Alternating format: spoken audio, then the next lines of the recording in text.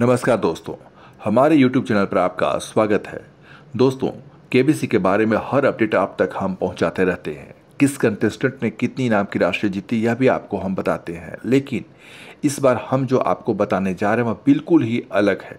जी हाँ दोस्तों, आपने अक्सर देखा होगा कि जब कोई कंटेस्टेंट हॉट सीट पर आता है तो अमिताभ बच्चन उसके लिए टिश्यू पेपर लेकर तैयार रहते हैं, ताकि वह उसकी आँखों से आँसू पूछने में मदद कर सके। और अमिताभ बच्चन आँसू पोछे के टिश्यू को लेकर अपनी जेब में रख लेते हैं। लेकिन दोस्तों, केबीसी का आने वाला एपिसोड जब आप देखेंगे तो इस बार अमिताभ बच्चन खुद रोते हुए नज़र आएँगे। क्या है पूरा मामला, यह जानने के लिए आखिर तक यह वीडियो देखते रहिए। अगर अभी तक आपने हमारे यूट्यूब चैनल को सब्सक्राइब नहीं किया तो इसे अभी सब्सक्राइब कर लें और हाँ बेल आइकन का बटन ज़रूर दबाएँ ताकि हमारे वीडियो का नोटिफिकेशन सबसे पहले आप तक पहुँचता रहे। तो दोस्तों, चलिए शुरू करते हैं केबीसी के ताज़ा अपडेट के बारे में। बिग बी यानी अमिताभ बच्चन का केबीसी को होस्ट करने का अंदाज सबसे जुदा है। वह हॉट सीट पर बैठे कंटेस्टेंट का काफ़ी ख्याल रखते हैं। दोस्तों, ऐसे ही अमिताभ बच्चन अपनी फैमिली से भी बेहद प्यार करते हैं। वह अक्सर अपने पिता हरिवंश राय बच्चन का ज़िक्र किया करते हैं।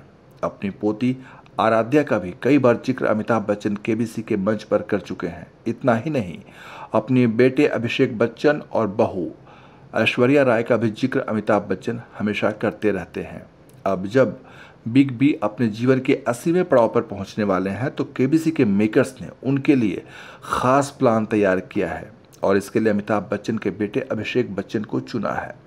केबीसी के सेट पर अभिषेक बच्चन से मिले सरप्राइज़ की वजह से अमिताभ बच्चन की आँखों में आँसू आ जाते हैं। दरअसल, सोनी टीवी ने अमिताभ बच्चन के बर्थडे वाले दिन टेलीकास्ट किए जाने वाले एपिसोड का प्रोमो शेयर किया है।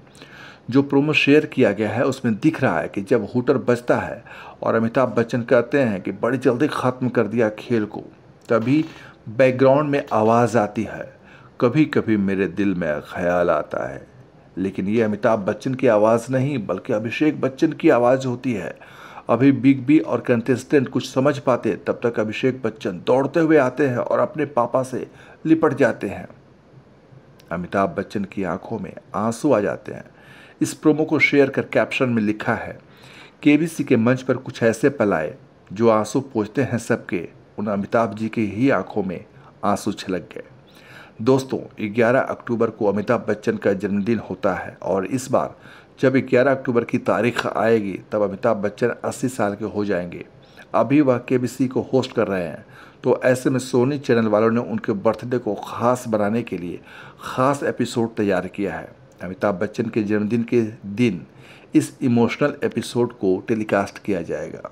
तो दोस्तों, ऐसे ही ताज़ा अपडेट के लिए देखते रहे हमारे यूट्यूब चैनल को और इसे लाइक और सब्सक्राइब ज़रूर करते रहे और हाँ अपने दोस्तों में से शेयर ज़रूर किया करें।